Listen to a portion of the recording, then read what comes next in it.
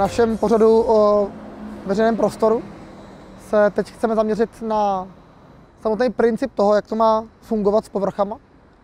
Je velmi klíčový, jakým způsobem ten materiál vůbec volíme, jak architekt nebo město nebo odbor, nějaký investic třeba, tohle volí. Když si kupujete jídlo nebo auto nebo oblečení, tak se taky doufám dneska už zajímáte o to, kdo to šil, jak to funguje. A pak třeba zvolíte něco, co vám vyhovuje, ale dneska už výrazně více než předtím dřív volíme kvalitní a dobré věci, které nám vydrží dlouho, i za třeba za cenu, že jsou trochu dražší. Tohle pravidlo o původu, o složení si myslím, že je, je snad desetinásobně platný zrovna u veřejného prostoru. A tak si myslím, že to je to úplně nejblbější místo, nebo nejméně vhodný, kde se má nebo dá šetřit. Ne, že se má vyhazovat marnotratně za něco, to nemyslím. V tom utrácení zrovna to je úplně jiný téma, jo. Ale spíš tom, jaký materiál se zvolí. Vlastně nechápu, a to si ukážu na pár místech, proč je na většině veřejných ploch, které jsou dělané, většině, i v centru a měst, a nejenom v Plzni, ale vlastně po celé České republice a asi nejenom v ní, ten nejlevnější materiál a mnohdy ještě dost blbě použitý. Začínáme třeba tady. Tohle je pro mě jedno z míst, který je, je až fenomén a skoro je to až umělecký dílo, ale bohužel ne v dobrým. Tady najdete snad 8 typů toho, jak se dá použít zámková dlažba. Já skoro mám pocit, že tady jsou nějaké stavebniny, že se tady můžu vybírat. Že tady máte jako několik způsobů, jak se dá ta plocha zakrejt na pěti metrech jako dílky. Ta pointa je, je to nejlevnější způsob toho, jak se dá zakrýt ten prostor. Neznám jedinou zámkovou dlažbu, která by po pěti letech nepopraskala, nebyla boulovatá, neměla nějaký problém. Prostě na tom vždycky šetříme. Takže tohle je první místo, jak to prosím nedělejme. A pojďme se mrknout, jak to vypadá někde jinde, ať máte nějaké srovnání. Je potřeba dobře rozdělovat, kam která plocha patří. Protože zámková dlažba na většině veřejných ploch jako nejlevnější věc je fakt špatná a neměla by tam být jenom jako doplňková, nebo to máte někam domů terase, tak uh, jsou místa, které jsou nakonec v kontextu. Tahle dlažba je u budovy, která je z nějaké doby. Tím, že tady byla odjakživa, evidentně patří k zábradlí i k fasádě a je s domem spojená.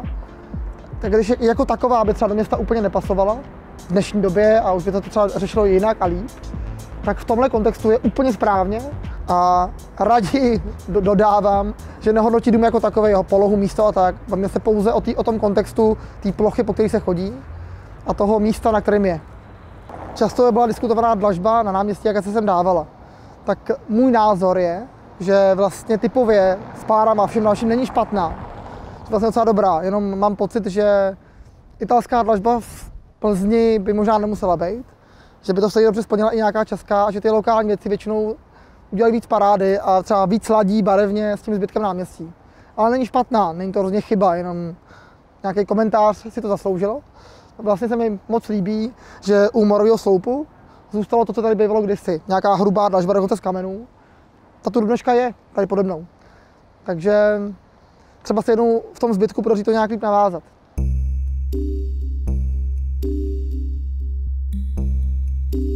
Chodníky jsou nakonec o malých detailech a věcech, které někam patří a někam prostě míní. Teď jsme před měšťanskou besedou v Plzni v centru, v úplném centru.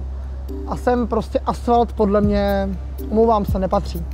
Protože při každé úpravě, při každém kopání, při každé nějaké věci, která se tady mění, a to se v městě děje čím dál častěji, tam potom vznikají takový ty šílený pruhy a ty nánosy těch asfaltů přes sebe. To prostě podle mě být v centru, ale ani jinde nemá, ale v centru obzvlášť pak ne.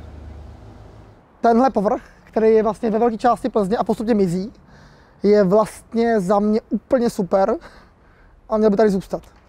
Jakože čím to měřítko toho města je menší, tím lepší a tohle to, je to největší měřítko, který pořád funguje a prosím, tam, kde je, nechme ho tam. Tady bych zkusil náš díl zakončit. Jsme v lokalitě u Zvonu, kde se měla stavět galerie, já vlastně doufám, že se tady stavět nebude, protože mně přijde, že to místo takhle volný je nakonec vlastně daleko lepší. Tahle plocha vznikla náhodou a měla být jenom jako čekací, než se tady něco stane.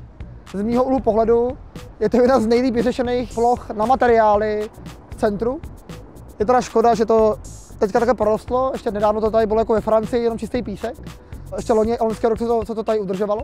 To, že to navazuje, byť ne přímo, to se ale dá řešit snadno na, na sady Jsou tady stromy, které jsou jednoho typu a prostě z mnoha důvodů je tohle za mě paradoxně velmi dobře udělaná plocha a je možná trochu škoda a možná i trochu smutný, že by vlastně jenom měla skončit. Takže vlastně znova, to jsme už asi v jednom díle řešili, moc prosím, tak to tady nechme a dejme galerii někam, kde bude mít lepší veřejnou plochu okolo sebe. Ten rozptýlový prostor, který je pro veřejné baráky, jak jsme si říkali, tak strašně důležitý. Tak moc děkuju, mějte se hezky a zase příště u Města k světu.